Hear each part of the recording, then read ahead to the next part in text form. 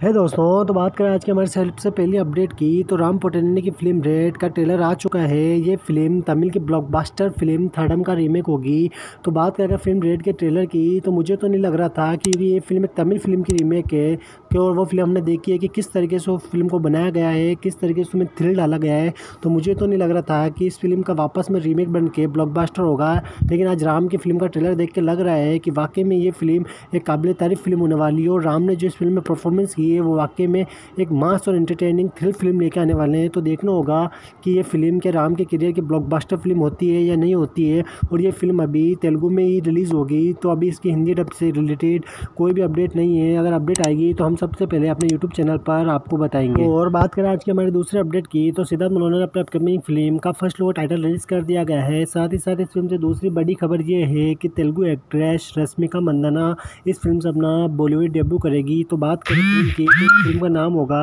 Mission Majnu और ये film एक सच्ची घटना पर आधारित होगी, जिसमें हमें सिद्धार्थ मल्होत्रा एक रो एजेंट के रोल में नज़र आएँगे। साथ ही साथ ये फ़िल्म इंडिया और पाकिस्तान के बीच एक होने की कहानी पर दिखाई जाएगी और इस फ़िल्म को डायरेक्ट करेंगे शांतनु बागीच और इस फ़िल्म की अभी रिलीज़ डेट कंफर्म नहीं हुई है तो देखना होगा कि ये फ़िल्म कब तक हमें हिंदी में देखने को मिलती है। तो बात करें आज की हमारी तीसरी अपडेट की तो जयम रवि सर की पच्चीसवीं फ़िल्म भूमि, जो कि मई 2020 में रिलीज़ होने था, लेकिन कोरोना वायरस के चलते रिलीज़ नहीं हो पाई थी। तो इस फ़िल्म के मेकर ने एक बड़ा फैसला लिया और ये फ़िल्म अब हमें थिएटर्स में रिलीज़ न होकर mobile app Disney plus Hotstar पर पोंगल 2021 में देखने को मिलेगी। तो बात करें हमारी अगली अपडेट की तो नेचुरल स्टार नानी और सुधीर बाबू की ब्लॉकबस्टर फ़िल्म भी जो कि कोरोना वायरस के चलते अमेजोन प्राइम वीडियो पर पाँच सितंबर को रिलीज़ की गई थी तो इस फ़िल्म को गूगल आईएमडी रेटिंग पर दस में से सिक्स की रेटिंग हासिल है, यानी कि ये फ़िल्म एक ब्लॉकबस्टर फ़िल्म है। तो अभी तक आपने इस फ़िल्म को नहीं देखा है तो इस फ़िल्म को एक बार फिर से देखने का मौका मिल सकता है, क्योंकि ये फ़िल्म एक जनवरी से हैप्पी न्यू ईयर को 2021 में थिएटर में देखने को मिलेगी। बात करें हमारी अगली खबर की तो शायद रमतेज ने अपनी नेक्स्ट फ़िल्म की अनाउंसमेंट कर दी है, और ये फ़िल्म को स्क्रीन प्ले देंगे सुकुमार। सुकुमार वही डायरेक्टर है जिन्होंने अल्लू अर्जुन की फ़िल्म पुष्पा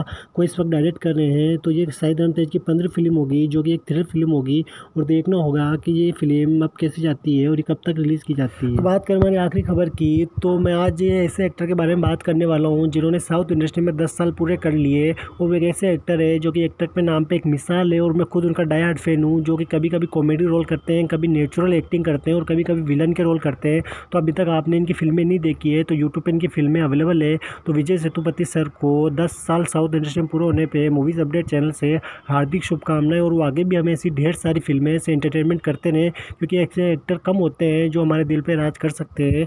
तो अभी तक आपने हमारे चैनल को सब्सक्राइब नहीं किया है तो सब्सक्राइब करें ताकि नई वीडियो की जानकारी आप तक सबसे पहले पहुँचे।